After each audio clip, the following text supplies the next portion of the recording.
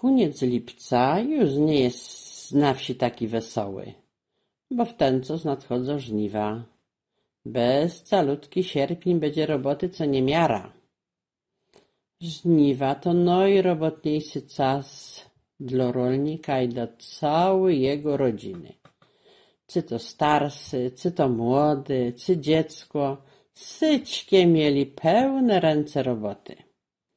Jak już ziorka w kłuskach były dojrzałe, to nadszedł czas, co by zacząć siec. W czasach moich dziadków i pradziadków zyto, łowiec, jęcmiń, cyproso zeno się sierpem. W czasach moich ojców już było trochę lzy, bo syćko siekło się kosą, a jeszcze trochę później, jak na pola wyjechały snopowiązałki, to już było połowę roboty. Pierwszym znakiem, już żniwa, był rozchodzący się po całej okolicy odgłos klepanych kos. Kosę klepało się młotkiem na babce, a babka wbito była w pniok.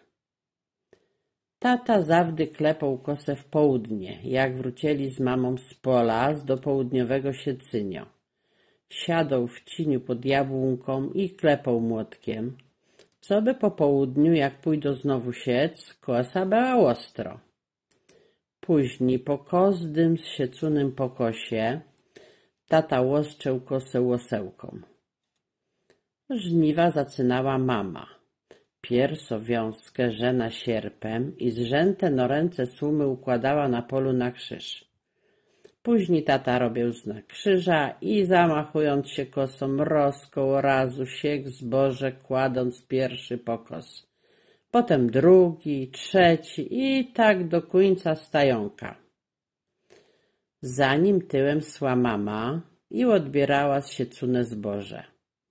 Z kozdego odebranego noręca słumy wiązała snopek powrózkiem zrobionym z gości słumy. Jak już siekli stajonko, to trzeba było snopki poustawiać w kopki, co by słuma i ziarno na słońcu wyschło. Słońce było już wysoko i skwar był niemiłosierny, jak schodzili z pola.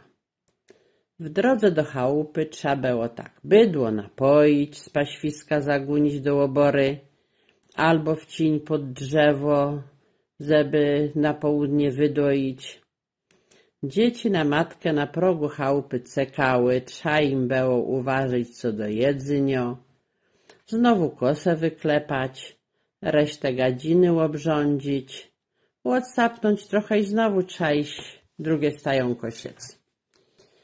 Jak przysło się z dali od chałupy, to ojciec zaprzęgał kunia do fury, no sodzą w cworty, Mama brała jedne kańkę z zimną wodą, drugą kańkę z siadłym mlekiem, w opałkę kładła pół bochenka chleba i jechali my wszyscy. No bo strach było dzieciska same w chałupie ostawić. Wiadomo, co to im przyjdzie do głowy?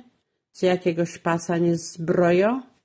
Lepiej niech te małe berbecie plątają się po ścieżniu, a te starsze zawdy coś pomogą choć snopki zostawio, albo ścieżni zagrabio, zawdy jakoś pomoc z nich będzie.